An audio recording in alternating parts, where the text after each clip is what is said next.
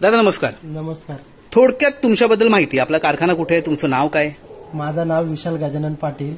माझा कारखाना मुरुड जंजिरा वालवट या गावात माझा कारखाना आहे. बरं. मला चटकन सांगा की किमतीबद्दल तुमचं काय मत आहे ओव्हरऑल दादा किमतीबद्दल कसं आहे ना का किमती बघा आल्यानंतर दुकानात जाऊन त्या दुकानदाराने सांगलेल्या सांगितलेल्या किमतीची वस्तू घेऊन येतात लोक. बरोबर. पण इथं आल्यानंतर या गणपतीची किंमत किती आहे? तर कृपया किंमत करू नको बाबा त्याची मेहनत किती झाली ते. त्या गणपती सोबत म्हणजे त्याची त्या कारागिराची पण किंमत केली जाते हा. या क्षेत्रामध्ये जास्त पैसे घेऊन कोण मोठा झालेला नाही कोणी या कारागिरांनी बंगले बांधलेले नाही बरोबर. कारण आताच बघा गणपती नेणार आपण दोन हजाराचा दीड हा. हजाराचा पण मकर बनवणार आपण पाच ते सहा हजाराचा बरोबर. आपण आपली भावना कोणाची आपण मूर्ती पूजनासाठी नेतो का मकर पूजतो हा. पण तिच्यात जीव आणण्यासाठी एवढे प्रयत्न माती मलून ही बघा अशी माती मलायला लागते इकडे माती मलून तिच्यातनं मूर्ती घडवायला लागते एवढा टाइम जातो त्याच्यात.